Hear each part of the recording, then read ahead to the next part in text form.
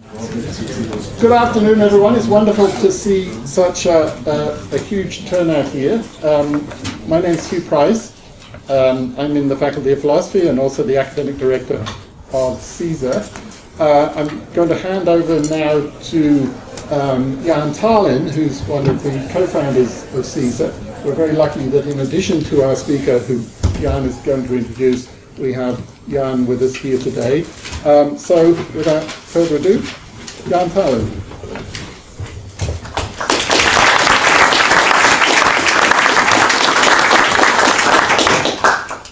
Good evening.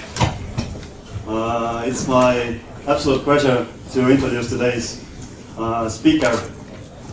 Uh, Murray Shanahan is a professor of uh, cognitive robotics at Imperial College London. Uh, and although, although, his research also spans computational neurodynamics, uh, cognition and consciousness, philosophy of mind, uh, logic, dynamical systems, and artificial intelligence. His work has been cited nearly 4,000 times uh, in these various disciplines. He's also on the editorial boards of Frontiers in Neurorobotics and Connection Science. He has authored four books, including an upcoming uh, scientific treatment of the technological singularity to be released later um, by MIT Press, later this year by MIT Press. And recently, uh, he was uh, scientific advisor for Alex Garland's uh, blockbuster movie Ex Machina.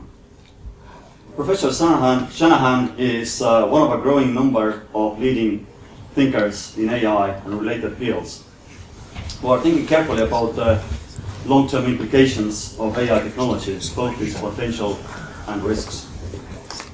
He was the first prominent uh, AI expert on the advisory board of Cambridge Center for the Study of Existential Risk uh, and therefore played a key role uh, in raising the visibility of these uh, issues and the center in the AI community, AI research community.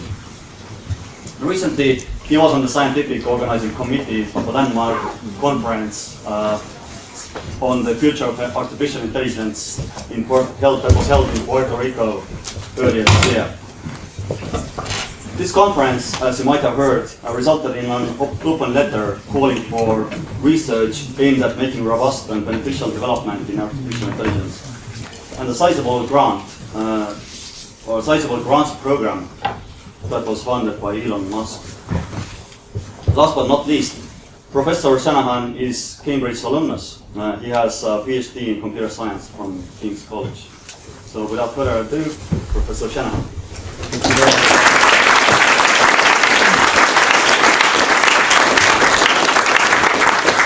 So thank you all very much for coming along, and I'm very sorry to the people who are standing uh, at the back. Um, I hope that uh, I hope it's worth it. um, okay, so I'm going to uh, so the really sort of four little subtopics I'm going to try and, and, and cover in, in this lecture. So first of all, I want to talk a little bit about the current level of hype we're seeing uh, both in the media and in industry about artificial in intelligence and try and distinguish a little bit between the hype and, and the reality. And that's also important for us to set, put in context the, the whole question of AI risk and whether there's anything to worry about with artificial intelligence. Um, then I'm going to talk about the topic of artificial general intelligence. So I want to um, uh, emphasize the kind of AI that might come about in the future, which would actually give rise to, to certain concerns. And I want to talk about the extent to which we're approaching that kind of AI and some of the obstacles to, to getting there and, and, and maybe give some flavor of how far away it is in, in time. Then I'm going to talk a little bit about the possible risks that some authors have uh, drawn attention to if we do manage to create human level artificial general intelligence. If we do manage to create this kind of AI, then, uh, then certain authors have, have, drawn attention to some concerns. So I'm going to talk about those, the concerns that those authors have, and the uh, particularly, particularly Nick Bostrom and Eliezer Yudkowsky, and um, uh, and I want to sort of uh, point, uh, summarize their arguments, as it were. And then finally, I'm going to talk about one approach to mitigating the kind of risks, the kinds of worries that those authors have, which is basically to make artificial intelligence not only human level, if we are able to do that at some time in the future, but also human like. Uh, because many of their concerns stem from the fact that they uh, uh, think that the kind of AI we would create would be human level but not human like. Okay, so that's sort of the outline of things. Uh, okay, so first of all, the hype. So we're in the, I'm sure the reason why this room is full, right? Uh, the reason why this room is full is because we're in the middle of a period of AI uh, hype, of hype, hyping of, uh, of, of, AI research. For example, uh, about a year ago, a year and a, just over a year ago, we heard that Google had acquired the London-based AI company DeepMind for for 400 uh, million pounds, which is a large sum of money. Um, and Google also bought, around about the same time, a little bit earlier, uh, six robotics companies, including uh, Boston Dynamics, who uh, uh build these amazing walking robots that maybe you've seen some, some, some, some videos of. Should we perhaps have the lights now to see the slides a bit?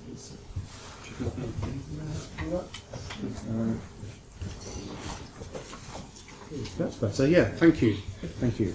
Um, amazing videos of this new ro ro spot robot from Dy Boston Dynamics. And at the same time, Facebook and Baidu have been hiring uh, AI gurus and, uh, uh, and paying them lots of money and so on.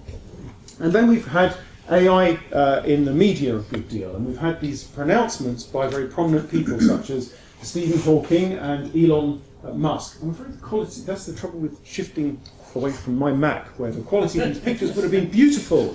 Um, but now they've degraded considerably, uh, I'm afraid. But okay, they are lovely pictures uh, in the original version of Steve, Stephen Hawking. So, so, yeah, so Stephen Hawking um, uh, said that success in creating AI uh, would be the biggest event in human history, and unfortunately, it might also be the last unless we learn how to avoid the risks. And Elon Musk said, I hope we're not just a biological bootloader for digital superintelligence. Unfortunately, that is increasingly probable. And just so I can gauge the audience, how many people here know what he means by a bootloader? Good, good. That is great. Okay, um, right. And also, we've seen a lot of AI in the movies, of course, and uh, a fantastic film, Ex Machina, that you should all go and see. Uh, okay, I full disclosure, I was involved in the making of it to some extent, and some uh, other films about AI uh, that have been, been very recent. So it's very much in the public uh, eye at the moment. But what, what's the reality? What, um, what's the reality? So what are the real achievements that we've got in, in artificial intelligence? Well, um, in 1997, the current or the then uh, world chess champion Garry Kasparov was defeated by uh, Deep uh, Deep Blue, and many people saw that as a major landmark in, in, uh, in AI research. And, in AI research, and it certainly was a terrific achievement. And Deep Blue was very good, basically, at searching through a very, very large number of possibilities, an enormous tree of possibilities of possible moves, um, uh, and searching uh, through this huge tree of possibilities for, for, for, for, good moves. That's you know basically the way all these things uh, work but it's a very, very uh, narrow domain, the domain of, of chess. then, much more recently, it also happens to be an IBM uh, achievement.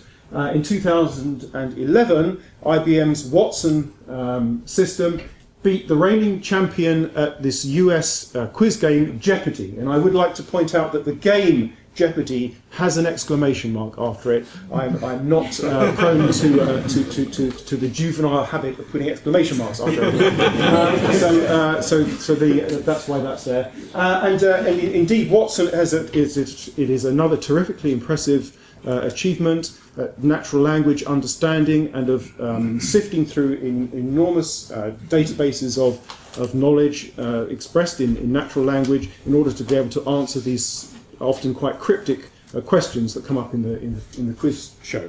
So that's also a very impressive, uh, very impressive uh, achievement.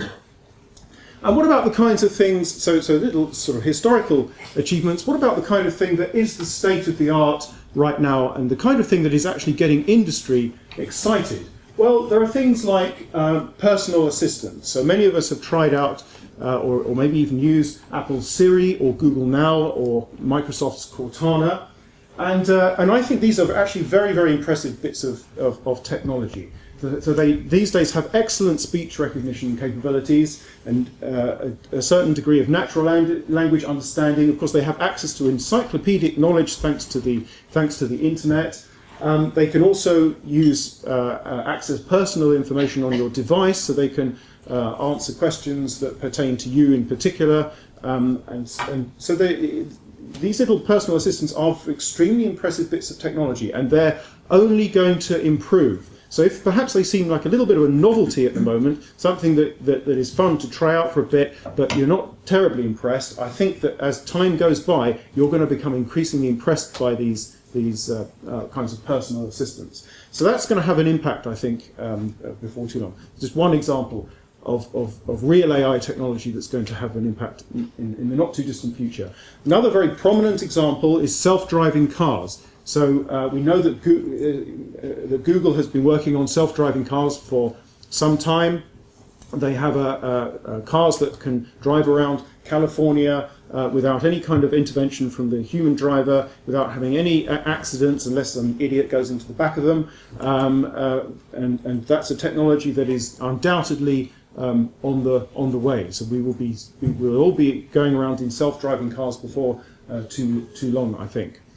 Um, and there are many other applications of uh, the kind of machine learning technology that underpins the speech recognition capabilities of things like Siri. So the very same kind of techniques and computational power can be brought to bear on so-called big data to help corporations uh, gather all kinds of information about us to do um, uh, to do nice things like uh, well supposedly nice things like um, uh, work out exactly what our preferences might be for products we might want to buy, uh, and perhaps uh, perhaps uh, states can do less nice things, and but maybe some things they have to do to catch criminals and terrorists and so on. So there's many applications of big data and machine learning that I think we're going to see impacting the economy and society in the not too distant future. Um, so all of that kind of thing is very impressive. So that's all very clever. But it, in the context of the sorts of things that Elon Musk talk, was talking about and Stephen Hawking was talking about, where they're imagining this human level AI in the future, well, those kinds of things are clever, but not that clever, actually. And in particular, Deep, I mean, this is a, an example that I love to use. Deep Blue can't make breakfast. Deep Blue is the computer that could beat Garry Kasparov at chess. So it could beat Garry Kasparov at chess, but it couldn't make, uh, uh, make breakfast, it couldn't hold a decent conversation, or change a light bulb, or indeed write a computer program, um, or teach a child how to speak, or any, any of those sorts of things. So there's an enormous number of things that any human, uh, uh normal, healthy human being can do from a very young age um, that, uh, that none of these state-of-the-art AI programs are capable of doing. So Deep Blue and, or, and any other state-of-the-art AI, state-of-the-art AI system, none of them can learn in particular to carry out completely new tasks. Um, and in I order apologize to, to the speaker. Is this still going to be a valid fire exit? Huh. Uh, we, Do you need us to move over the other side? Does that work? It's just like when it's burning, you go out first. Yes. I, I will announce the fire, okay, and then tell these guys to go out first. Uh, okay, so in in. Uh, Sorry. If anyone else comes in, just tell them they can't come in. too many people. um, we, we lock the door, but that might be unsafe. Okay, so, um, so, so, so, so no state-of-the-art AI program uh, possesses the kind of general intelligence that human beings have and enable us, in particular, to learn completely new tasks, and that's an absolutely vital thing. So, in order to do that, you would require what people often now term artificial general intelligence. And there's a very big difference between the kind of specialist AI technology that we were talking, I've been talking about with those examples of chess, um, Siri and self-driving cars, and artificial general intelligence, which is the kind of thing that gives rise to certain concerns. So what's missing? Okay. Well, what's missing? I love this. Larson cartoons are compulsory in any kind of decent So this is such a great Larson cartoon. Early experiments in transportation. Right? It illustrates everything that matters. so general intelligence is, is adaptive. And, uh, and in particular, we learn through explore, exploration, through coming up with ideas, trying stuff out, creative, new stuff. Great idea, right? You know, uh, let's try that one out. And it requires creativity, creativity, sort of uh, uh, you know, the ceaseless tendency to try out new things. These guys are doing great. Um, but it also requires common sense, which I think we can, which is what these guys are lacking, which is uh, we can characterize as the ability to predict the consequences of actions, um, physical actions um, uh, on, on, on objects in the real world, and also on the consequences of our actions, including things like speech acts and so on, on other people. So the social consequences of actions as well. So uh, again, as just a small child can straight away, you know, might find this funny because they can straight away see what's going to happen here, right? We can imagine in horrible detail precisely what's going to happen to this guy. Um, so, uh, so these things are missing. We do not really know yet how to endow computers with common sense in this, uh, in this sense, um, or, or creativity. And I think they're the, the main uh, sort of uh, uh, the main obstacles to doing, to doing this. So, okay, so if we have the ambition of doing that, of going beyond these little bits of specialist AI technology, then how might we do that? Well, there are different approaches. Different approaches that AI scientists have been uh, trying out for, uh, for, for years, in fact, uh, and will continue to try out, and that may come to fruition at some point in the future. And we can broadly distinguish between two categories of approach. So one is to try and engineer AI completely from scratch. So the analogy is with powered flight. So it turned out that it wasn't a great idea to try and build uh, powered flights to enable people to fly by bu building things that, with flapping wings. So imitating nature when it came to flight was not didn't work out too well. But maybe, uh, but but uh, so so instead we sort of engineered it from scratch. We engineered powered flight from scratch with different principles: fixed wings, some means of forward propulsion, and so on.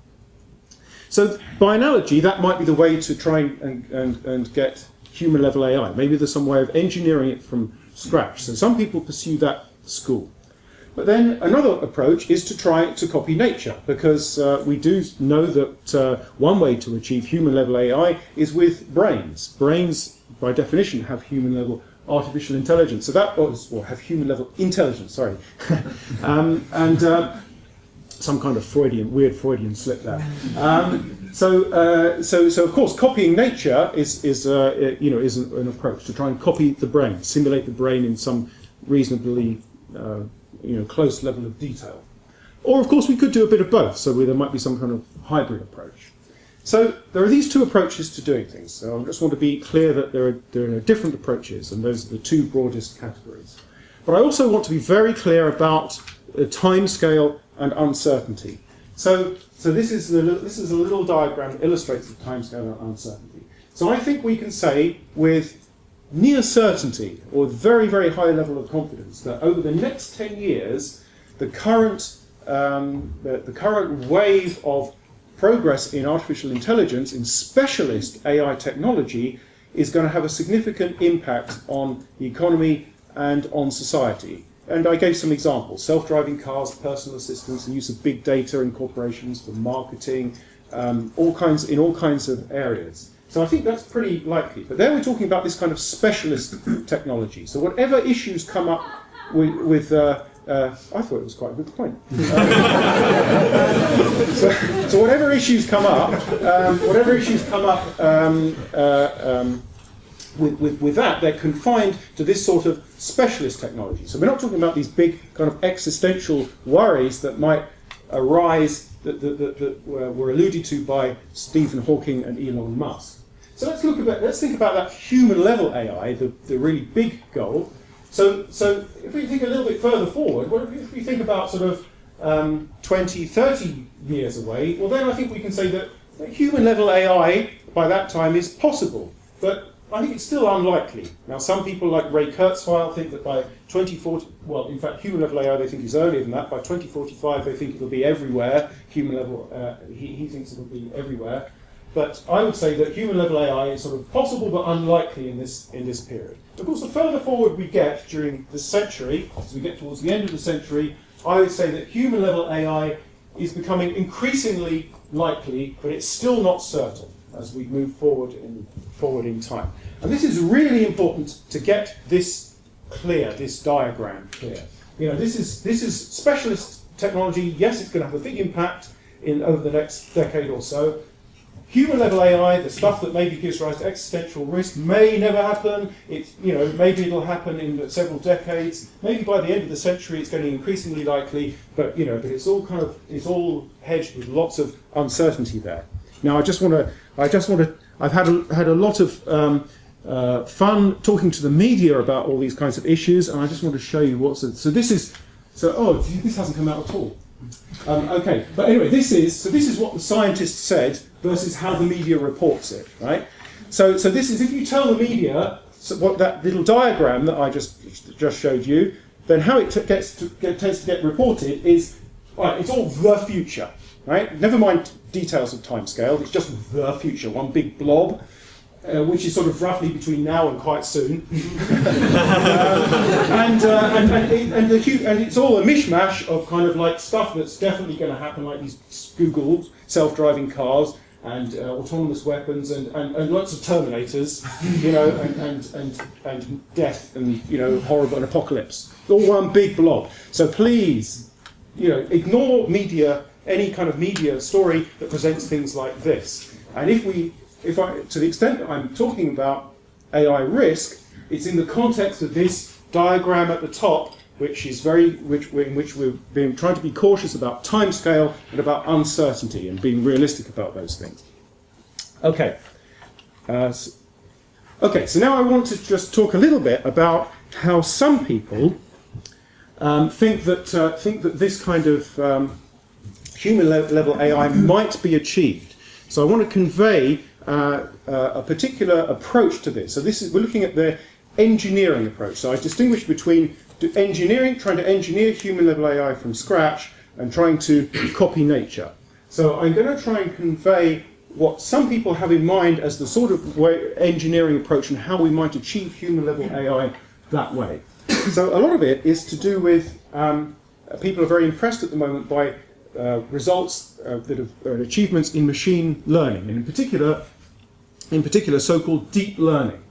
And deep learning, basically what it involves is uh, neural networks. So this is a, a, diagram of an artificial neural network. And each of these blobs is, a, uh, is a, an artificial neuron. Each of these things is a connection. And, and information feeds forward from input here to output here. And the input here, in this kind of example I'm looking at here, is, is, is basically an image. So it could be an image and the output here is going to be a classification of this image to tell you whether there is a face there or a cat there.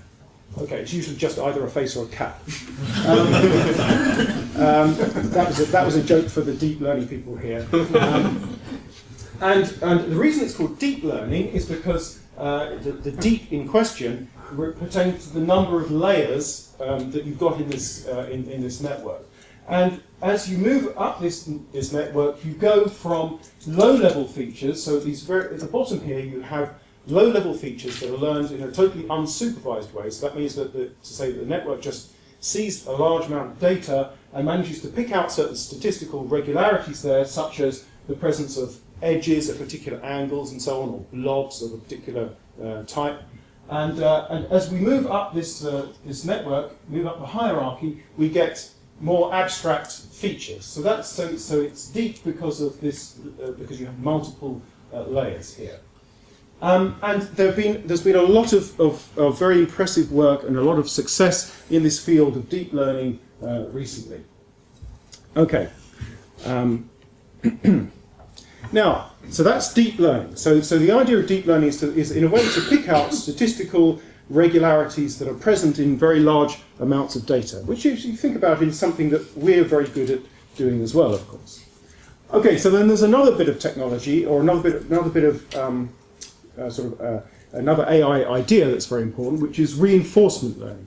Reinforcement learning, for those who uh, who don't know, is basically the kind of thing that we think of as trial and error learning, which we would see if we were training an animal to do something, then the animal learns through through trial and error, through trying. If an animal wants to learn how to get peanuts out of a uh, out of a, a hangar, then it's going to you know try various actions, and at some point something will be successful, and it's basically then learn to do that action to get that reward. So reinforcement learning is, is, is basically that kind of learning. It's learning um, uh, basically a mapping from states, the state that it's in, that it acquires through its senses, to actions to perform in order to maximize its expected reward over time.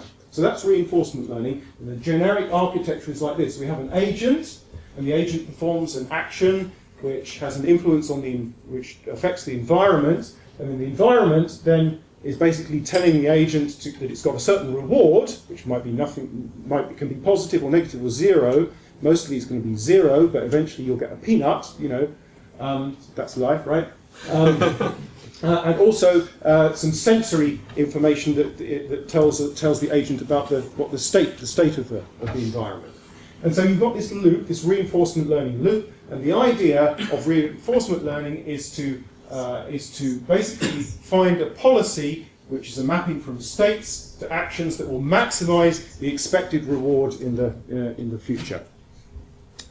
Okay, so now what we can do, and what DeepMind, what Google DeepMind did, that, uh, that really, uh, uh, or what, rather, before they were Google DeepMind, what DeepMind did that really impressed uh, Google and, and enabled them to, to, cut, to fork out 400 million pounds uh, was they, uh, they put these two things together in a very, very impressive way to produce uh, a deep reinforcement learning uh, agent.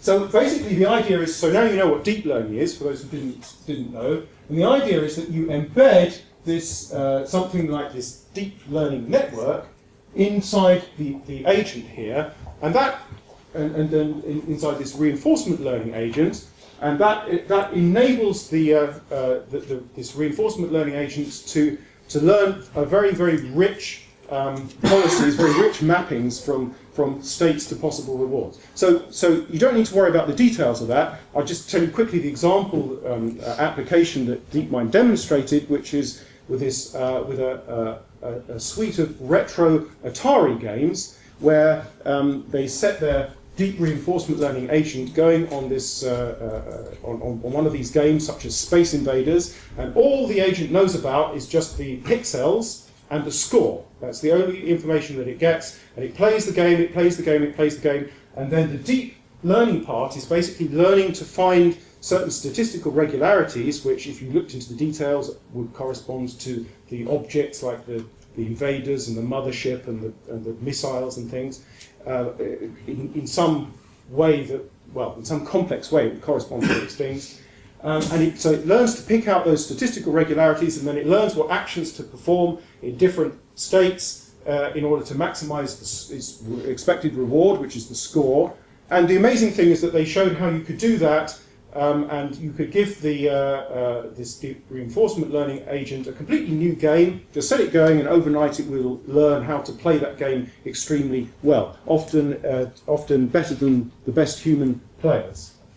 So that's, that's one very impressive approach um, to, uh, uh, to, to, to uh, artificial intelligence. And now I just want to convince you that that is a, possible, a viable approach to artificial general intelligence. And, and the way to think of it is this, that, that this is an, uh, what you've just seen uh, is an instance of a general, generic kind of architecture, which comprises a machine learning component that builds a predictive model of, uh, of the world, um, and, uh, and an optimization component that tries to work out how to maximize expected reward over time. So this, I've got this little example from the life of Brian. So who knows what happens next? What happens next? Is he falls off the tower and gets caught by a spaceship. Exactly, exactly. I, mean, I, I, mean, I'm sure there are more people in the audience. There's usually like many hands go up at that point. So yes, so he falls off the.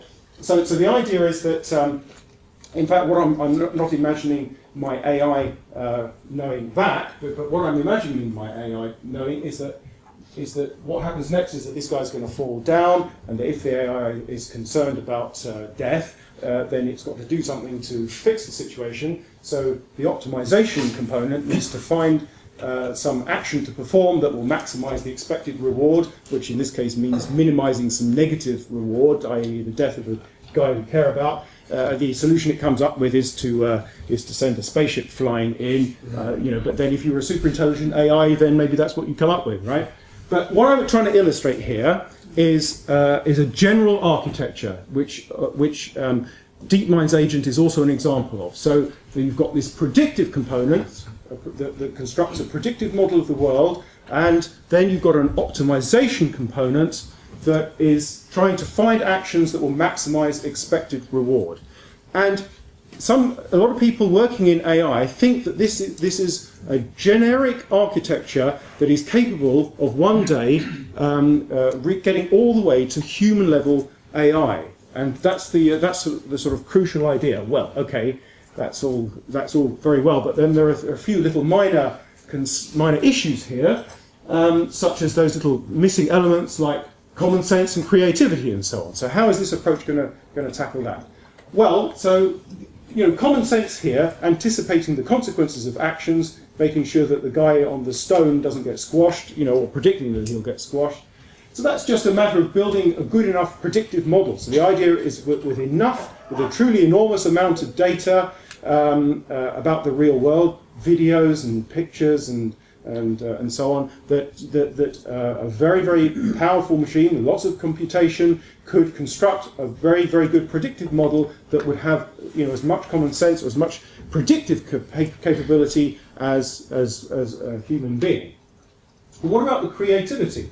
Well, again, the idea there is that it's just about throwing enough power and, and uh, computing power at the problem. It's about having a sufficiently powerful optimizer. With a sufficiently powerful optimizer um, uh, and, and, the right kind of clever algorithms that you can get creativity to. And uh, as an interesting lesson here is from evolution. If we consider evolution, then evolution is the most brute force kind of search that you can envisage. It just tries out stuff at random, you know, and then selects the things that, that, that, that work. But through a truly, truly massive amount of parallelism and truly huge tracts of time, it was capable of inventing hands and eyes and brains and so on.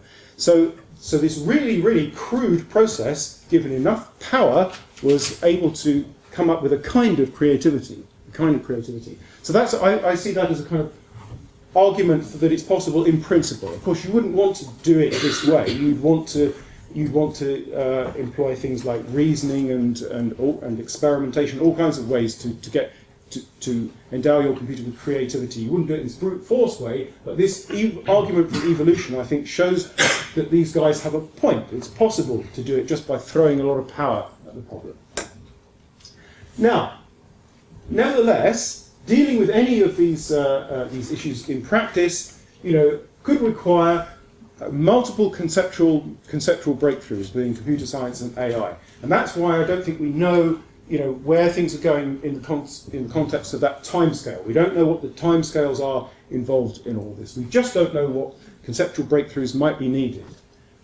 And I have to say that maybe we don't need so many conceptual breakthroughs. We just don't know. Maybe you know, it's enough to throw enough data and enough computing power, and there's some crude way uh, of, of, of achieving human level AI that way. I wouldn't rule it out. I mean, I suspect not, but I wouldn't rule it out completely. Okay, so so now I want to move on to the next uh, uh, the next topic, which is which is suppose that we succeed in do, building human level AI this way. And just to emphasize, we're talking about decades and decades away. Suppose that we succeed, then some authors have uh, uh, uh, you know, and, and, people like Elon Musk and Stephen Hawking and my colleagues at CSER are concerned with um, the possibility that it would give rise to some very nasty scenarios. And I want to try and convey to you the reasoning behind those concerns. Now, at this point, I'm supposed to put up a picture of the Terminator, right? Or so, you know, this is what you normally see at this point, and I am so, so fed up with seeing pictures of Terminator in the media whenever this issue comes up. So instead, I'm going to give you some Disney and, and the clangers. I hope there are some clangers fans here. So, uh, because they, these are two examples that do illustrate the same uh, kind of point. So, in particular, Nick Bostrom and Eliezer Yudkowsky have cautioned us to be to beware of um, what Nick calls perver- or, yeah, perverse instantiations uh, of very powerful optimizers. So remember, this approach to human level AI is to build a very powerful optimization process that can basically find actions to maximize expected reward over time.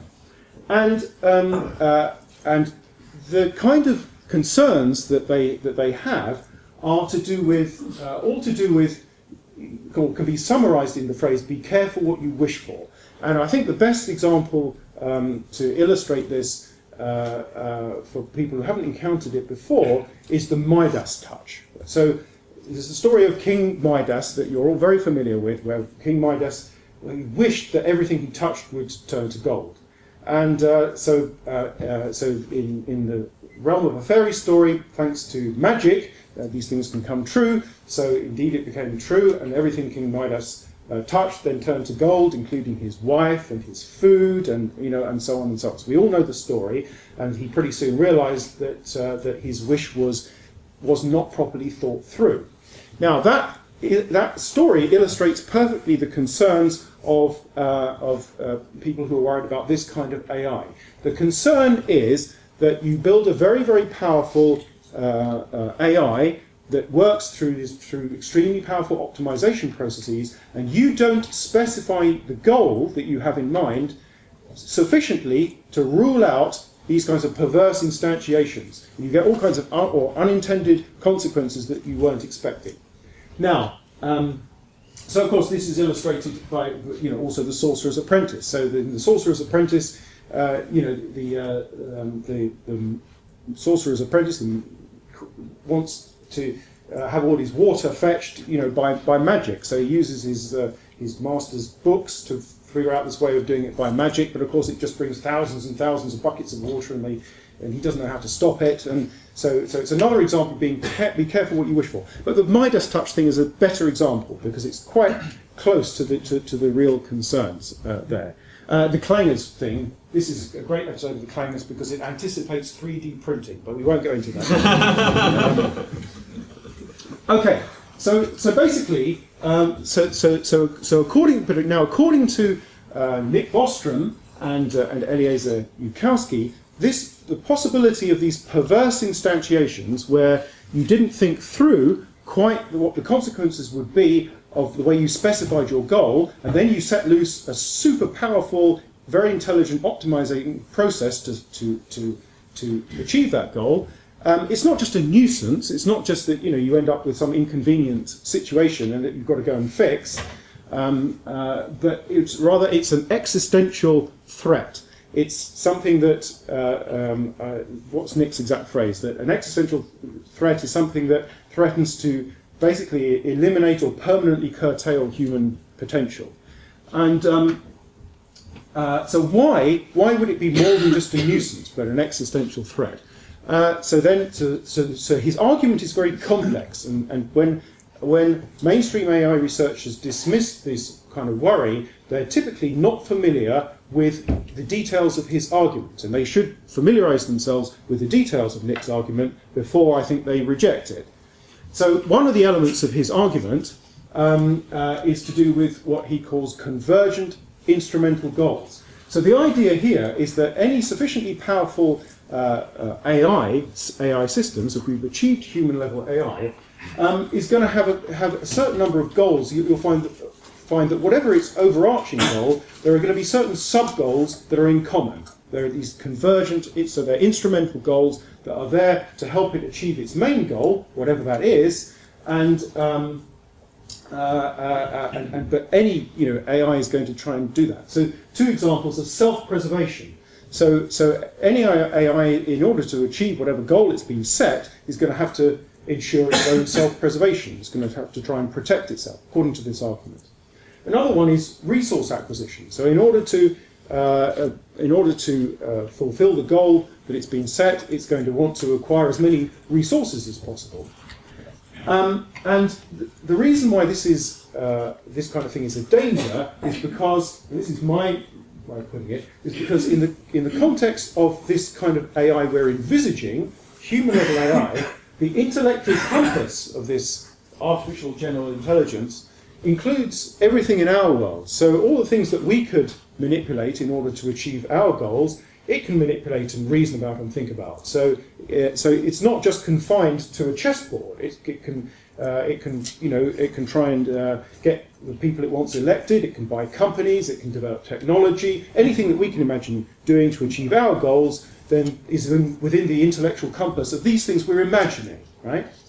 So that's why it's a danger. If, if it, all it was doing was just playing chess, and was and it's and it's uh, and all it knew about was the world of the chessboard, then it wouldn't be an issue, right? Um, okay, so uh, so the point is, and that this is a uh, this combination is a is a potentially dangerous one, and in particular, if the age if this uh, AGI is super intelligent, so if it's actually more intelligent than than a, than a human, so if it's beyond human level AI, then there's a particular concern here.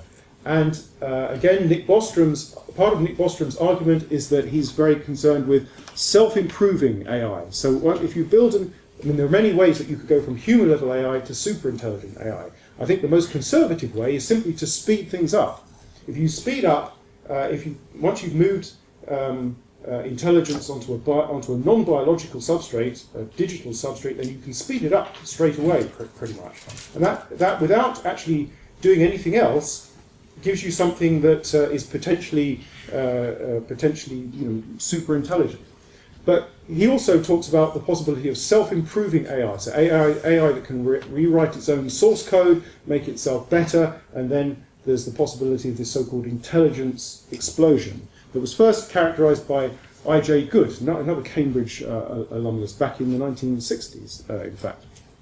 Okay, now um, uh, so yes, so let me just tell you about the, the, the, about Nick's particular example of the paperclip maximizer.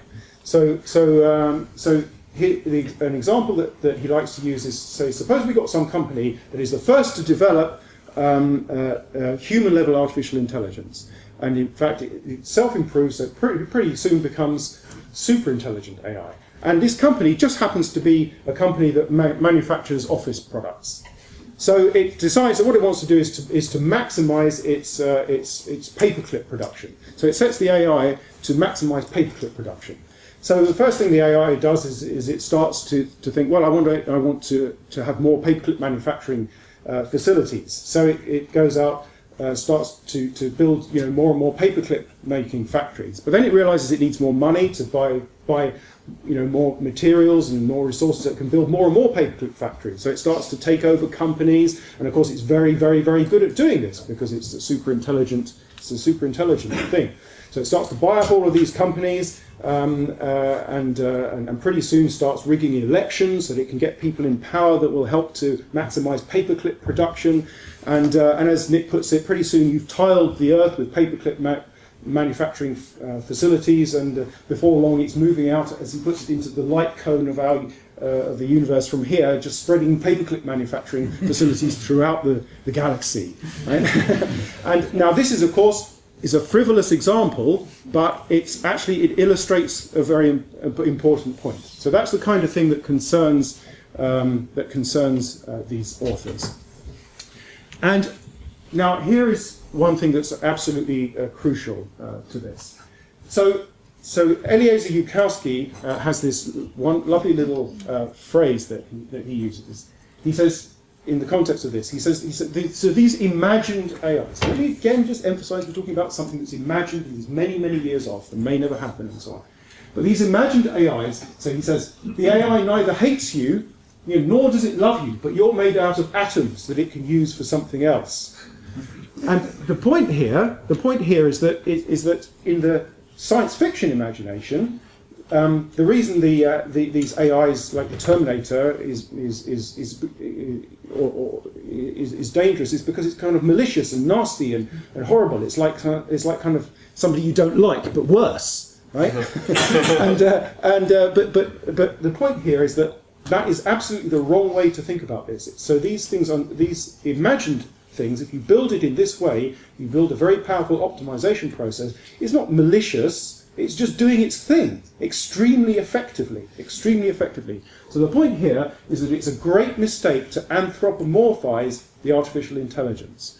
So human, and so this is the thing, human level AI is not necessarily human-like AI, and this is the this is the, the crucial point that they make.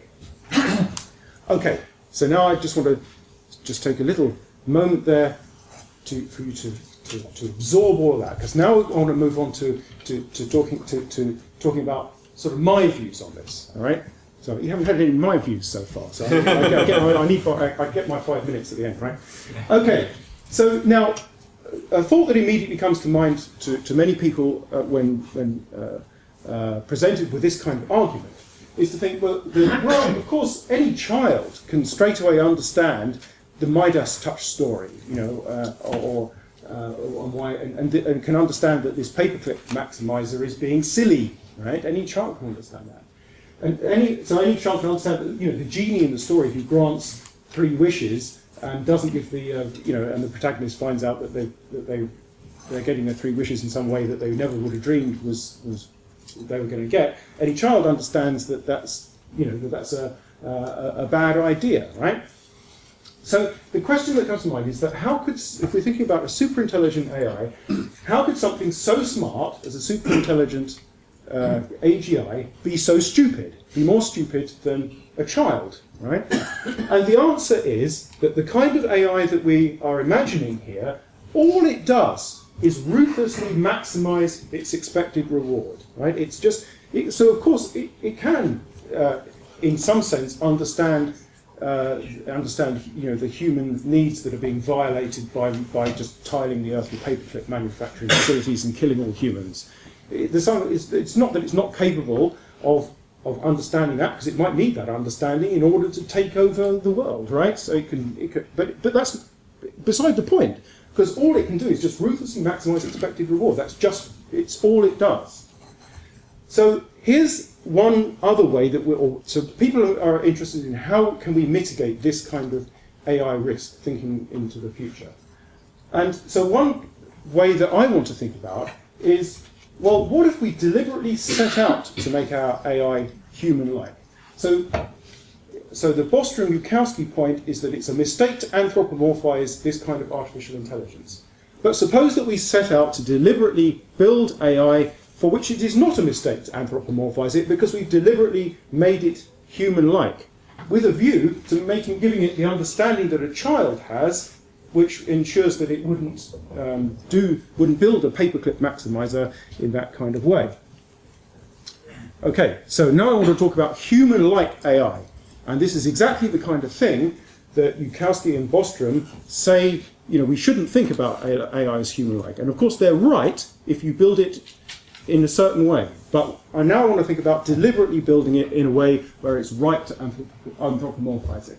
So it's kind of hard to pin down exactly why it is that that the human child is doesn't have the same kind of problem as this super powerful optimizing process that we've that we've imagined.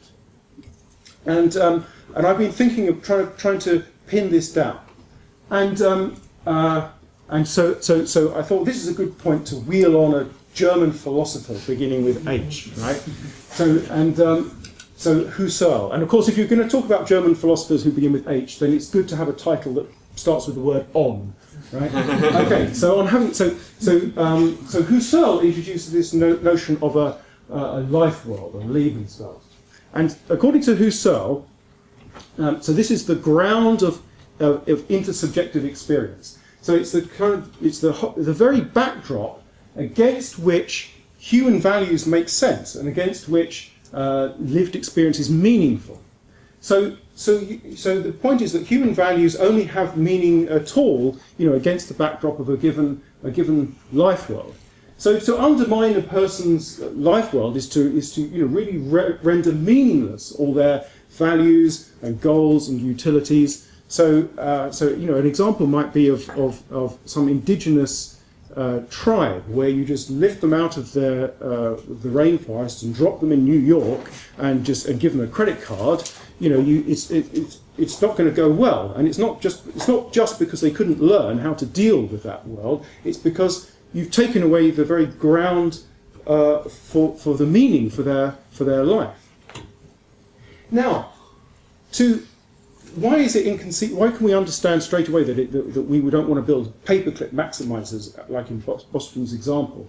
Because we straight away understand that to, dis, to destroy or to radically dis disfigure your life, that your own life world, is a, you know is the most extreme act we can think of. It's more extreme than uh, than, than, suicide, in fact. It's uh, it just renders everything uh, everything completely meaningless. So could we build our AGI to have a life world in that kind of in that kind of sense? So I, I, I think um, Sean going to start pestering me about time. Okay, so I want to think about I want to think about um, I want to think about how we might endow uh, an AI with a life world and make it more human-like in that way, so that so that so that you know the idea of you know, destroying the world in order to achieve some, order to optimize some goal is just completely unthinkable, completely unthinkable. And, um, and I think there are certain, there are certain, we need to understand, you know, what the very basis of human and biological intelligence is in order to, in order to do that. So the first thing is I think we want to distinguish between optimization, which is the basis of the kind of architecture that, that these guys have been talking about, and homeostasis, which is, which is, uh, which is kind of uh, different. So homeostasis, uh, as, as I'm, uh, I'm sure you, you all know, is, is all about trying to maintain certain variables within an acceptable range. So using a sort of feedback-based process. So for example, you want to make, you, uh, an animal wants to make sure that its blood sugar level is maintained within certain bounds, and in order to do that, it, uh, it needs to pee sometimes, and it needs to eat sometimes, and it, in order to keep things within a within the right uh, within the right kind of bound. So now, so the question is, what's the right way to understand an animal? For example, a cat. So we might indeed characterize an animal's behavior in terms of maximizing expected reward. So indeed, you know, my cat sometimes is going around looking for food and trying to maximize the expected reward by going out into the garden and looking for mice or whatever. And uh, so, so we can indeed characterize what it's doing as kind of an optimization process that's trying to maximize expected reward. But that's one way to think about it. Uh, and alternatively, we can think of an animal as a complex dynamical system that is trying to maintain homeostasis. And for those of you who um, are familiar with this kind of literature, you'll know that by homeostasis, I'm also embracing the concept of allostasis as well. So sometimes it, you have to take a step back and you have to have to do more complex things in order to maintain these variables within their acceptable bounds. But the idea is that is that uh, is that it's a different kind of thing. You're not trying to optimize uh, uh, some, or you're not trying to maximize expected reward by accumulating more and more resources, for example, but rather you're trying to just maintain balance. now, very important point is that each of these ways of describing uh, an agent or an animal in terms of optimization or in terms of homeostasis, there's a sense in which, formally speaking, you could intertranslate between those two descriptions. So each description is kind of a limiting case of the other. So we can characterize homeostasis as a kind of optimization process. And we can characterize optimization as a kind of uh, homeostasis uh, process. Sure, okay, so that's so let's take that point for granted. But I think that uh, thinking of th things in terms of homeostasis, that uh, is is important for thinking of things in terms of this life of having a life world. So having something, so, so, the, so the animal um, you know, basically has certain kinds of, uh, of habits and behaviors that just try and keep certain, keep its life on an even keel. And that's the very ground of everything it does, everything. And um, that's what I'm interested in, in, in, uh, in you know, endowing uh, uh my, my uh, endowing machines and AI with that same kind of ground. Yeah, of course, this is an illustrative point. So here we have Tutti as our cat, you know, and here we see him ruthlessly maximizing his expected reward, right? Well, no, he's not, you know, and he's not doing that much of the time. So, so you know, even if we made Tutti super powerful, even if we gave him uh, some kind of super powerful whatever, uh, you know, he wouldn't be that bothered about taking over the world, you know, because he'd rather sleep. Um, okay, so um, so I think that, that, that having a life world in this sense, so having something that is absolutely fundamental ground for all values. Um, uh, so uh, uh, it presupposes a, you know, a lifelike, uh, lifelike existence.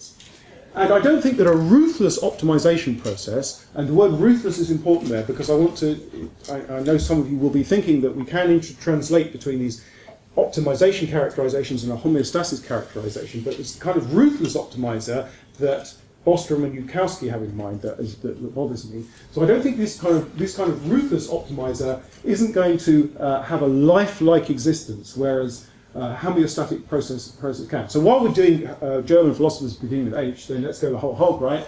And um, so so uh, so so this is the first step, I think. But then we can then we have to think a little bit more about this idea of, of, of having a world.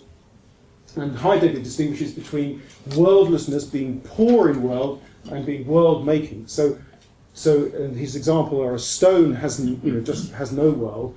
A lizard sitting on a on a rock basking in the sun kind of has a, a world because it doesn't just sit there; it will respond to to, to things in the environment. Uh, but but it doesn't really have any understanding of its relations to the things, uh, to, to, the world around it, whereas humans have a, an understanding of the relations they have with the, with the things uh, around them. So humans comprehend their relations to the world and, importantly, to, to others. So I'm trying to build up something here, and I'm not going to pretend that I've got final answers here. This is work in progress. Um, so. Um, uh, so how can we build it, build this, this, this, this kind of life world? So I'm suggesting that it rests on the idea of homeostasis rather than optimization, and that the world that, that, that, that was going to form should form the, the very ground for any kind of uh, uh, any kind of values that, the, that, that our machine might want to uh, optimize is going to be based on uh, having a, a, a life world, and in particular, there are certain things that we would like to see in the life world of our AI that we also find in the, in, in, in the human uh, life world. So there are certain pre- prerequisites. And these prerequisites are, for example, things like embodiment, having a body, the capacity to recognize others, and so called theory of mind, so the ability to reason about the beliefs, desires, and intentions of, of, of other people and uh, make predictions about what they can do uh, on, on, that basis, which Jane Heal was, was an important contributor to that theory, of course. Um, uh, the ability to form, uh, uh, to, to, form, this is vital, of course, the ability to form relationships, the ability to communicate, the need to be part of society, and empathy. So the idea is, is, that, is that if we build something for which this is the very ground of its, of, it, of its existence, this is just what it does, then it would be unthinkable for something that's built that way to just to destroy the world in the same way that it's unthinkable for, for any of us to destroy our world, to, to undermine our own uh, life world, because it's the very ground on which any of these things that we might be optimizing, any of our goals, any of those things, it's the ground on which they make sense at all. So we can't, if we take away that ground, you know, we're not optimizing anything. We've just taken away any uh, uh, any possibility of optimizing anything. Um, okay, so now how do we do that? So one way to do that, I think I've just got a couple more minutes. Um, whoever's worried about the time. Um, where is Sean? He's disappeared. um, so, uh, uh, so one way to do that is to adopt the, the, the, uh, the, approach of trying to replicate the human brain. So we, of course, we know that the human brain can manage this. So one way to do it is to try and copy the archi- basic architecture of the human brain in particular, the way that social intelligence and empathy and so on are realized in the human brain. So that's one approach, uh, one approach to this. Um, so just to, to, to finish off with some of the obvious objections to this idea, right? So the obvious object, two obvious objections, I think. The first is that we want to avoid pathology because humans because we're social creatures and evolution has, has evolved us as social creatures, most of the time we're quite nice to each other, especially if, there's not, if we're not fighting about resources and so on. Um, but we can be very nasty to each other as well. And, and in particular, we want to avoid creating a super intelligent psychopath or sociopath who might turn into a dictator or a tyrant if it's extremely powerful in this kind of way. So how do we avoid this? Well, I think we have to avoid, we'd avoid that in the same way we would avoid it in, in humans under ideal circumstances. So through an appropriate developmental pathway, basically. Um, I'm kind of having to rush a little bit at the end because there's obviously a huge number of questions that this raises. So the second big issue is that potentially we're enlarging the moral sphere considerably if we create things like this. Because maybe we're making something that is conscious if we do this. This is a whole can of worms, of course. And then you know you have to ask the question: Would it have the capacity to suffer, and would it therefore you know be deserving of rights such as freedom and so on? And you know, do we want to go there if it was if it were possible? That's a very important uh, question. And and Thomas Metzinger raises some objections to that to that possibility. Okay, so this is the last slide. I'm sorry I've gone over an hour. I'm really sorry about that. Um, okay, so this is my summary slide. So perhaps the social, economic, and political forces that are driving us towards human level, creating human level AI, perhaps they're unstoppable. I have a feeling they might be unstoppable over the course of this century. And if so, perhaps we have to choose between two perhaps unpalatable uh, alternatives. There's the dangerous one, which is engineering AI that's human level and then superhuman, level AI, but not human-like, um, based on powerful, powerful optimization, or the morally challenging option, which is creating AI that is human level and is human-like, because it's perhaps based on the blueprint of the human brain, um, but it gives rise to these moral challenges that I just touched on at the end there. Now, my, my vote right now is for option two, uh, in the hope, hope that it will lead to some kind of symbiotic, harmonious coexistence with these things that we might bring into being late in this century, if, if perhaps we do, on the grounds that this may be just too dangerous. But then, of course, there's the challenge of stopping people from doing that, even if we do decide that that's the better idea, but that's a whole other issue. So I will stop there and flash up the. Uh, so this is the. Uh, this is the new uh, book. Um, I hope you like the cover. I was really pleased with the cover.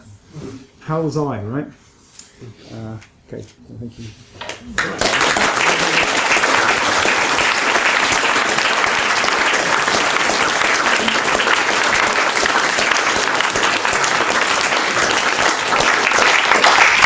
Thank you, Murray. Now we've got a few minutes for questions. Uh, as Murray said, we, we have this tendency to be less nice to each other when we're short of resources, and we have to be short of both space and time in this case. So I do, nice I, I do encourage you to be nice, both to Murray and to each other. And one aspect of that is to please try to keep your questions brief so that as many people as possible have time to ask questions. Um, so I'll start with, I, I saw your hand at the back first, and other people keep your hands up, and I'll try to make some kind of a list. But, but you sir, right at the back. Um, can I return to the um, to your timeline, Oh, which that's, was that's a long uh, way back. which was where you were saying that you might have to bracket the idea of human-like AI, but the world that we might be entering very soon is this kind of stupid machine-like AI, and make a liberal plea for existential risk, and say that actually what's at stake here is that the stupid machine-like AI is challenging the foundations of the liberal state. Yeah, And that that's what's really important if we accept that possibly human-like AI will never exist. yeah, Then yeah. what we need to do is put in, in place incredibly strong legal instruments now to protect data in order that we don't fall into exactly the problem of never getting to the point at which we get human-like AI, but just get this stupid sovereign who crushes everyone's liberty, Yeah, yeah, yeah. which destroys the life world. Yeah, yeah. 10 years' I, I have, I have uh, uh, enormous sympathy with, with, with what you're saying, and, uh, and all, all I can um, say is that it's just not the subject of this particular talk. That's all. So I, here I, am I'm, I'm kind of glossing over the, the huge issues that relate to the social i- i- impact of the AI we're developing now. So I'm, I've been glossing over those ten years, and the subject of this talk was the more speculative stuff in the in, in the future. But so so I, I absolutely agree with you. It's you know we need to think hard about the, the, the kind of AI that is coming online much sooner and is and is much more of a certainty. And I think we do have to think hard about that too. Yeah. Tim. Can we go back to the slide with the cat on it? Um, because when you put up a picture and you said there she is ruthlessly maximizing her utility, I was like, yeah, that's what cats do. and then you said, of course, that's not what's happening, and that confused me Yes. because I don't really understand the difference between maximizing utility and just aiming for homeostasis. It's just homeostasis is, you know, the utility that the cat's after. Yeah, yeah, And absolutely. to make Well, that was really the, that was super the point. cat with lasers for eyes, the way it will do it is to just fry everyone around it so it can bask in the sun. so I, I, I don't see how this gets rid of the problem, just coding in homeostasis. No, okay, I, I, I agree with you, and that's why um, uh, that's why I, you know, I made this point about each. Uh, um, where is? Where I'm, is- I'm here, sorry. Yeah. Oh yeah, hi. Uh, that's why I made this point about each each kind of di- type of description being a special case or a limiting case of the other. So I know that this is true, and I uh, and I am perfectly happy to grant that this thought needs more work. okay, which is a kind of a bit of a cop out, but I do but I do think that there is something there is an important difference between the kind of optimization process that, that we've been talking about, the ruthless optimization process, and the, the and uh, what animals do, which is based on, on homeostasis. And I absolutely will grant you that that thought needs further work. Um, you sir. Yeah, um, I, I would be interested in what you meant when, in the end of your talk, you spoke about the social or economical or political forces that Yeah. are driving us into uh, the direction of uh, artificial intelligence. And uh, in addition to that, I would be interested whether the biggest risk of artificial intelligence might be the actual form of those forces Yes. which drive us. Yeah, sure. So I, I, I- so I guess I see those forces as, as, as the forces of, of, of capitalism, basically, and, uh, uh, and, and the fact that, it, that, that in, in, a, in a, kind of competitive setting you have in, in, in uh, uh, with, with capitalism, there's an, you know there's enormous incentive to to to to produce something before your competitors produce it, and to take risks in order to do that. So if you think that you uh, that there's some chance that you can uh, get a decisive advantage over a competitor by building something, then then somebody's going to try and do it. And it's one of those thing, one of those things like a, like you know the leaky bucket. It only takes one hole for all the water to come out. So it only takes one careless actor in this game to uh, uh, to be willing to take the risk uh, in order to, to you know expose us all to that risk. So there's going to be there's always going to be the temptation, I think, in a, in, in competitive capitalist societies for people to try and develop uh, risky things. And of course, states can do things to try and try and you know prevent that, but it's but, but then you need we're talking about a global thing, so you will need you really need you know all states to do that. And there's also there's similar forces are, I think come into play in the military sphere. So in the military sphere, it's not economic forces, but it's the same kind of um, logic is at play, where you know China is going to say, well, I'm I need to develop autonomous we- weapons because if I don't do it, you know, then the other guys are going to do it, and the Americans are going to make the same kind of reasoning. So it means that you've got to build these things just in case the other guys do it, and so you know it- it's it's very difficult, I think, to to stop this uh, uh, this sort of um, process. Um, yes. Yes. So, um, um, so given what you said about the dangers of very powerful optimizers, um, h- how strong is the case for discouraging or even banning certain kinds of AI research in, in those areas like reinforcement learning and AGI? Um, so I so I think I think currently there's no case for ban for banning that because we just you know we, we, it's, it's just premature to think about these these uh, about you know regulating or banning things right now because we're not there's no evidence that, that we're about to get there. E- So- even the DeepMind kind of research. Well, I mean, I must admit that it would be. Let's let's forget about DeepMind in particular, but it would be. It, uh, there is some concern about you know what's going on in the basements of, of companies or, and, uh, or research institutes around the world that we don't might not know about. So there is some worry that you know, yeah, in some basement somewhere, somebody is doing something really dangerous. It, I mean, it just seems very unlikely to me, but I agree that it seem, it, it- when we're talking about this kind of existential risk, seeming unlikely is, is, is not a very strong argument. But I, I, I I wouldn't, you know, it just, it just seems to seems to me premature to want to start banning things on this kind of kind of basis. Okay, I, yes, you had a question. Yeah, so related to that point, point, so I'm an AI researcher. I occasionally write optimizers, and I, I'd like to take measures to not wipe out the human race.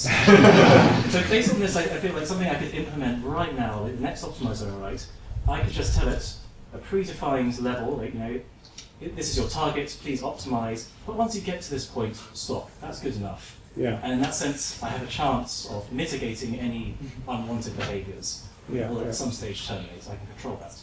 Yeah, yeah, sure. Okay, so so so Nick Nick Bostrom's argument, uh, answer to that argument, which I actually don't actually doesn't appeal to me hugely, is that is that is that your AI is then going to need to kind of check that it's that it's that it's achieved you know it's it's it's 10 million paper clips and it's going to you know and it's going to just build more and more resources to just to make sure that it's done it right and, and, and so on.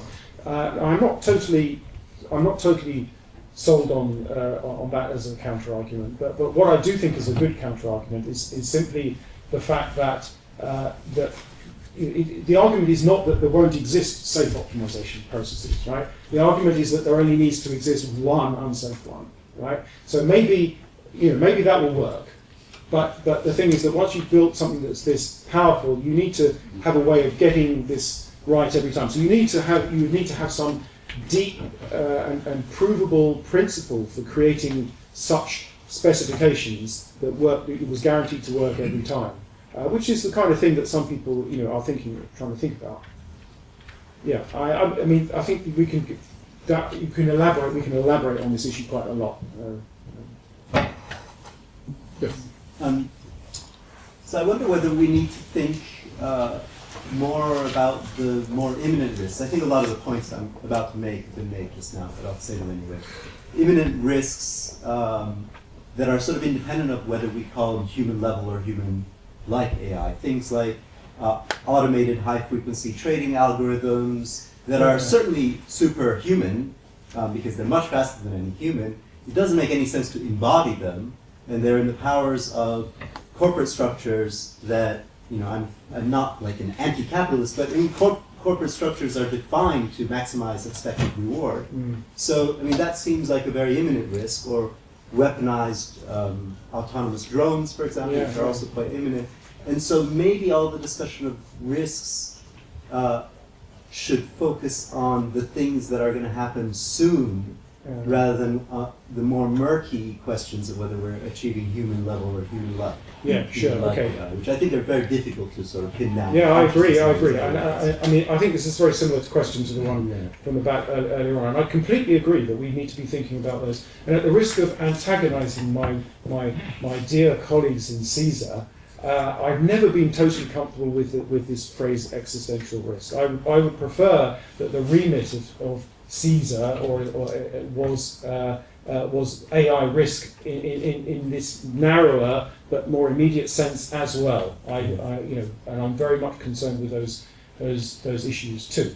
But the counter argument to that is is well, okay, yes, indeed, let's have lots of people thinking about that stuff too. And but but but this other problem is potentially such a big one, and let's think big and long term um, that we need to devote some resources, some resources within you know.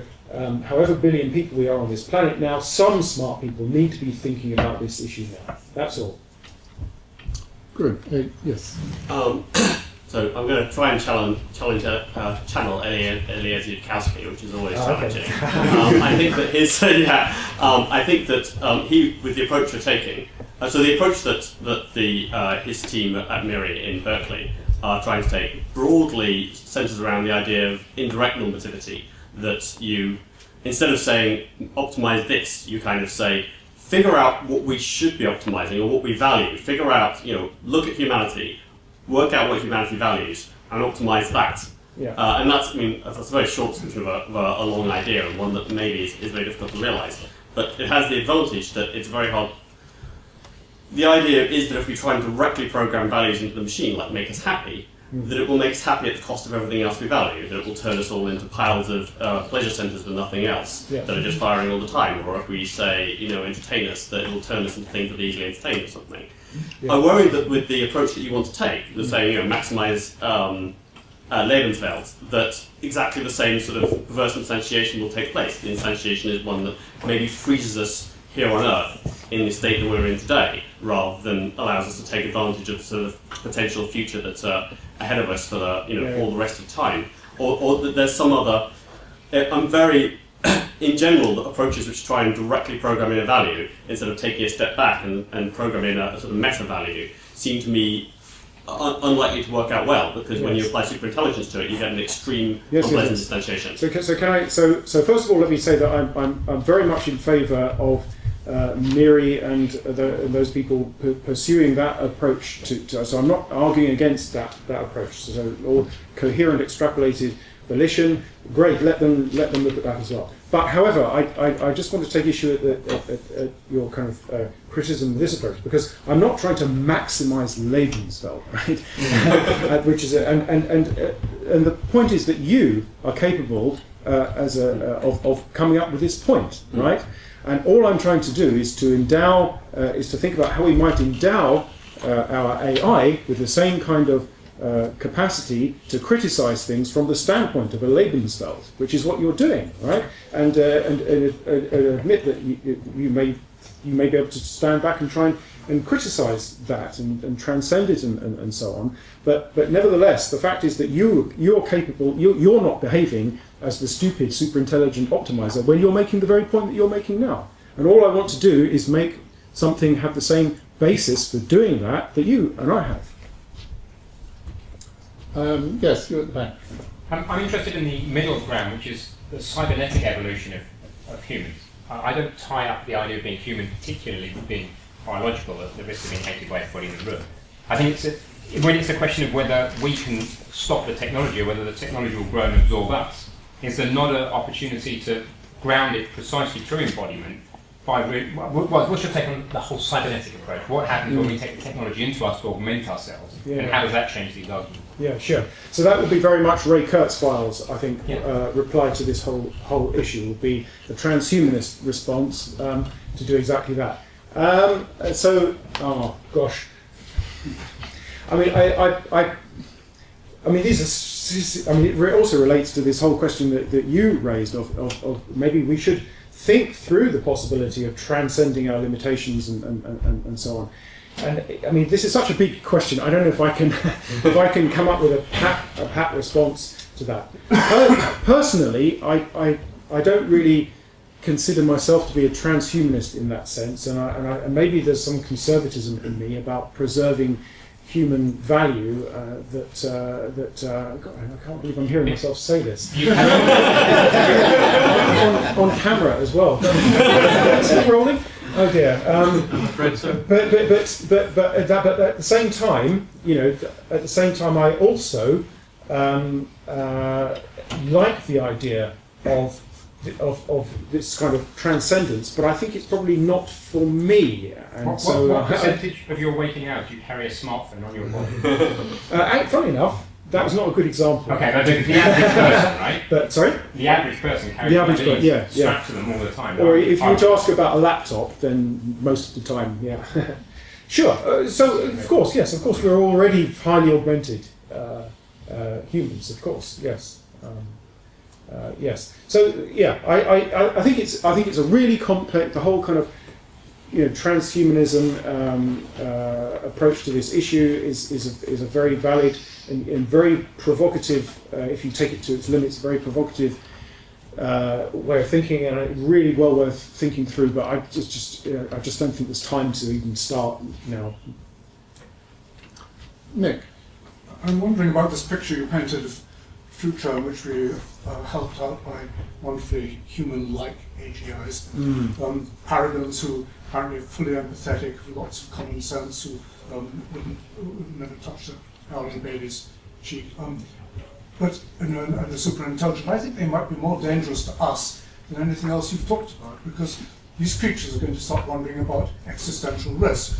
And they're going to realize that one existential risk that, that, that posed to them is in fact going to be human beings who are not Yes. perfect for all. Sure, sure. They might develop a program for keeping us under control. And it comes back to serious point, which I've argued with, with Martin and Huw before now, which I think the existential risk to human beings is other human beings. We ought to be thinking much more seriously about you know, issues like religion and, and uh, crusading uh, Muslims and the rest of it. And or even people who have more benign motivations, but nonetheless actually don't know what they're doing. Yeah, sure. Of, well, of, course, that's outside the scope of my talk. Uh, but, but, but, what's not outside the scope of my talk was, I think, the point that you, I think you think was frivolous, but I, I think was a, is actually a, a serious one. That indeed the proposal I'm making, and we have to be willing to, to, to think through. Think, I, I, you know, the, that's why I keep on saying this thing with. I'm imagining something that's hundred years away, or, and so on. So, so it might seem silly, but I still think I want, but I still want to think think through it. So. I think that so your first objection, I think, is a very good objection, and I think uh, if we wanted to throw out into the into the intellectual conversation about this stuff, these kinds of ideas, then you know hopefully we've got many decades to think through those kinds of kinds of possibilities. And I, as I you know I did raise the prospect of the sociopath and the, and, and, and, the psychopath and so on. So yeah, I mean I'm just I, you know, I feel I'm just touching on this and not, uh, and, and, you know, if we knew all the answers, then Elon Musk wouldn't have needed to provide ten million dollars. um, so uh, uh, I think it's a very valid objection. So although you were slightly mocking it, I think uh, I think it's actually something that we need to talk about.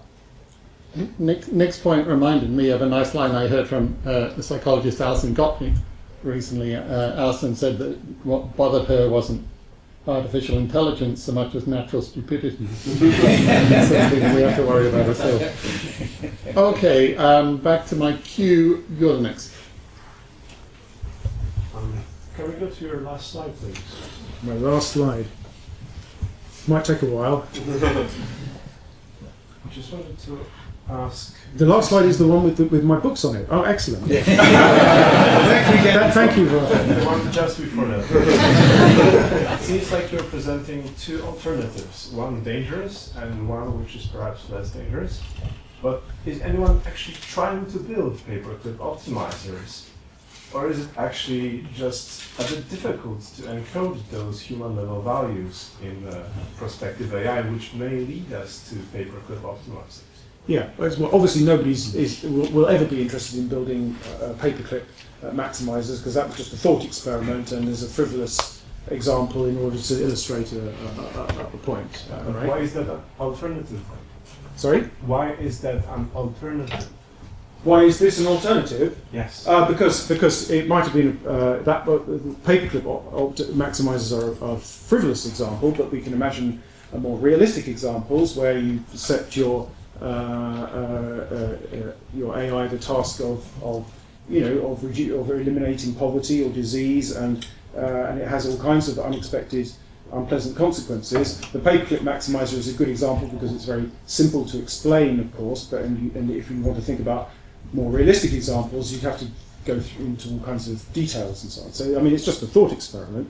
Um, but but uh, but getting back to the other aspect of what you're saying, of course, of course, this is again I want to emphasise that this is way. Nobody knows how to build anything, any kind of optimization process that is that powerful.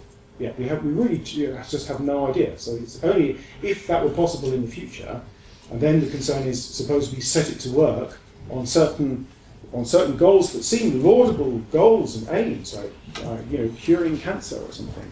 That if you don't specify the the, goal uh, well enough that you would have these kinds of very unwelcome, un unexpected consequences. Actually, getting back to the whole, again, I think that it doesn't have to be existential risk. I mean, Nick Bostrom has his arguments that, that, that, that make it rather all or nothing, you know, that it's going to be take over the world or, uh, uh, or it's all going to be okay. But I mean, I think there are all kinds of you know, unintended consequences that could, that could come about. It's not quite the existential risk, but I mean, can, it doesn't have to be quite that extreme for it to be very bad.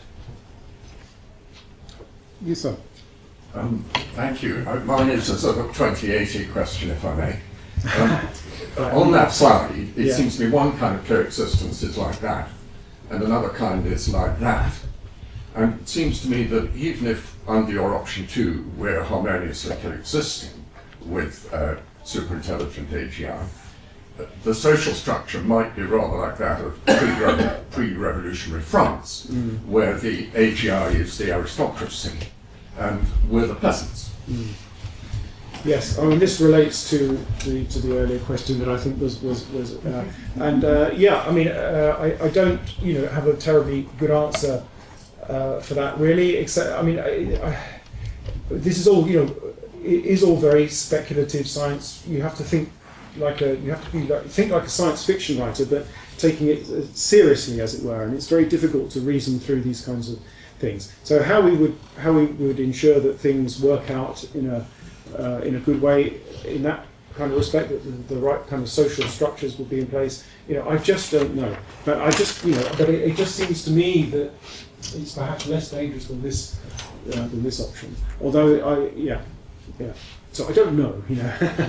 um, but it's a, it's a good it's a good question. People, uh, I think, thinking about this kind of possibility often, you know, allude to the fact that we are very happy to keep pets around, as it were, and to try and, and we have, uh, you know, conservation is actually a, a very important, uh, you know, human human value. We want to conserve um, nature, and uh, you know, many of us, and so maybe that's uh, that's the kind of value you would want to be inherited by your mind children. Sure. I'm trying to think of what, why I find the um, idea of the dangerous AI here um, unsatisfactory. I think it's this. it seems to be trying to achieve two things in that argument. Um, if I make a really, really powerful optimizer, and it's such a powerful optimizer that is sort of side effect of what it does, it can go out and subvert markets and rig elections and uh, you know to, to, to, carry on your, your example. Yeah. Um, I can't imagine how I make an optimization of information technique that's that powerful, but can't question what it's trying to optimize. Mm. And that argument seems to be trying to have its cake and eat it. Yeah, and it seems to be that if well, I can, if I make an optimizer and I make it so that it can't question its own value function, it's not going to be intelligent enough to rig elections. Mm. Yeah, but if well, I do make something that's intelligent, then it must also be able to question its own value function. Well, I, I don't think that's I don't think that's true. So it, it might be able to it might be able to question its own, uh, uh, or it might be able to interrogate its own internal processes, and uh, uh and, and uh, it might be able to think about how to improve the way that it achieves, uh, you know, it, it, maximizes its, its its utility function, but. But, um, but, but you know, that, that, that whole thing about being able to kind of question ask those kinds of questions, I think, is, is, a, is, a, is, is the very kind of thing that I'm, I want to make it human-like. I want to make human-like AI in order to make that that possible. And I don't. I think if you just build things using this kind of architecture, it's not going to be able to do that. Yeah, and this I, is where that, that's. See, agree I think with, with the fact that the, with, with your say the, the, the second possibility here seems much more uh, much more realistic and interesting. Um, but my, my, my point is that the, to use again this example of the paper optimizer. There's just something not right about that argument. But, but you see, that I think that that is the anthropomorphizing the AI. You're, you're imagining that the AI is like us, where we would, you know, we naturally think, what the hell am I doing this for? You know, what do I care about paper clips anyway? You know, of course we we think like that, but but the thing that you've built, um, whilst it might, you know, it, it can still have uh, be, be smart enough to build all kinds of fancy technology, to rig elections, to understand human behavior in exquisite detail, but it's not, it just wouldn't do that. It just, it's just not constructed that way. Um, uh, you know, that, that's, the, that's, that's, the, that's the argument. And to think that it must be capable or, or must, must, you know, must do this thing of interrogating its own reward function in that kind of way is, is to anthropomorphize it. Evolution never you know, interrogated its, its I didn't hear that. Evolution never interrogated, like, uh, doubted about its goals, but it, it was like very powerful to come up with all sorts of stuff. Well, actually, maybe that's not true, because we are. Yeah. well, we had a product evolution. No, we're not, but there's still we are though. It's interesting. Interesting. I mean, so the very the very possibility of trans of transhumanism suggests that maybe evolution uh, does eventually start to uh, uh, question its own Look, I, am I'm, I'm, I'm, afraid we're, um, we're over time. Uh, I apologise, uh, there's several people I still have on the list here and people are still raising hands. So I apologise to people who haven't got their question in. Please do come and join us for a, a drink outside and that'll be an opportunity to talk to Murray. Um, to close, let me say that, personally speaking, I found the most disturbing part of your talk, Murray, the, the suggestion that in order to deal with this problem, we're going to have to understand the philosophy of German philosophy.